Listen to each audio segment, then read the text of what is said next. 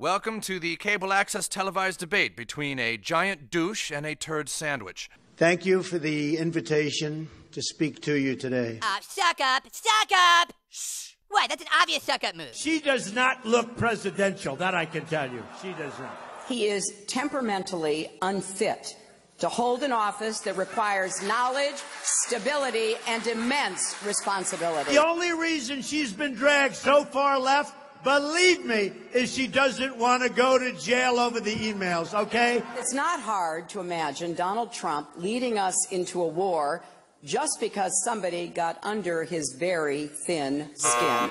Your time is up, turd.